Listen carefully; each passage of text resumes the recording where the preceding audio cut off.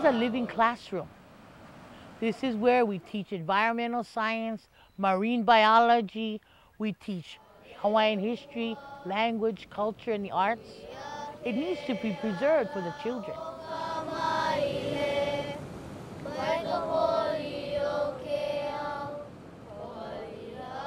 And that's why for the past 16 years, I have created a learning center here at Punaluu where the children can come and reconnect to their rich cultural heritage. Like that. The way you chant is the way you look.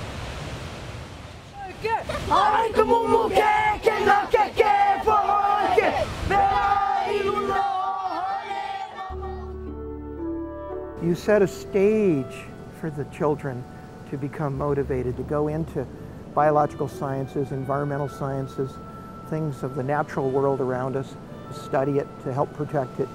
To see that animal alive and to be touched in your heart and mind by, by a wild creature living in a wild environment is something that I think is the first step for children to become involved.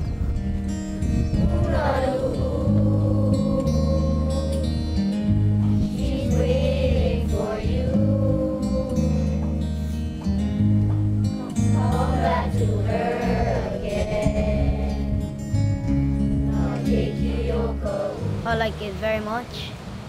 It teaches us about Hawaiian studies. It's better than regular school. Learn how to do chants and learn about the beaches and stuff and how to take care of the aina. This program teaches a lot to me how Ka'u is an important place to this Hawaiian island. You can learn all of these things.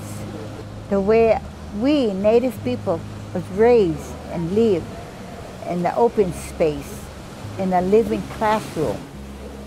I think it's our challenge to show that we can train students to be stewards and that there are some funding opportunities and some jobs, frankly, in that. I think it'd be very possible to see some type of educational centers put up all around Ka'u